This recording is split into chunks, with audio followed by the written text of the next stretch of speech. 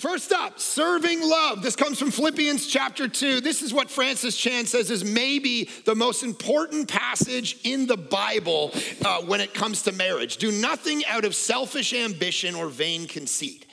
Rather, in humility, value others above yourselves, not looking to your own interests, but each of you to the interests of the others. In your relationship with one another, have the same mindset as Christ Jesus, who, of course, looked at us, the object of his affection, as more important than himself, and that's why he came and died for our sin. That's why he came down from heaven. That's what that passage is literally about. So, is this part of your life where you do nothing out of selfish ambition or vain conceit, but you look at your spouse and you say to them, This person is actually more important than me? Can you imagine how your marriage or relationships would change?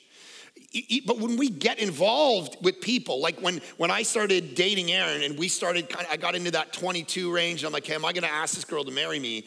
The funny thing is, is that we tend to, like, I looked at her and said, what can she bring to me?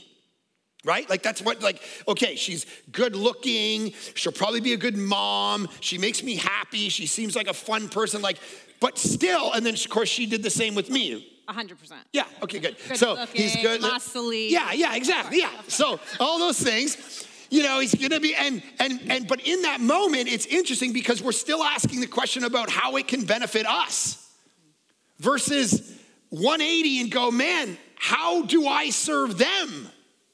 So imagine first vision for your marriage, guys. Wake up every day and go, how is she gonna flourish?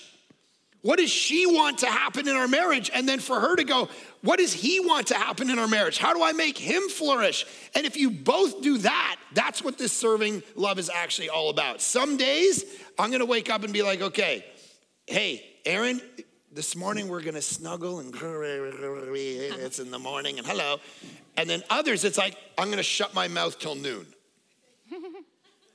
because she doesn't wanna talk. And it's like, let's exegete the difference between those two days because they're gonna be different, right? So that's how you serving love, that's what it's all about.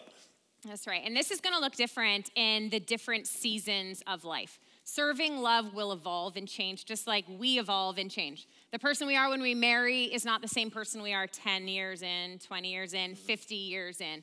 At 17, when we started dating, I was a different person than we were at 22 when we got Right. married. When I was 25 and had crazy health problems and had surgery after surgery, the way that Mark needed to show me love in those seasons was vastly different.